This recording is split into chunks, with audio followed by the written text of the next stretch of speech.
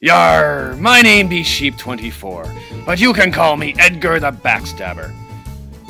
I'm here today to learn you a few terms and words you may not have already known, so pay attention, you hear?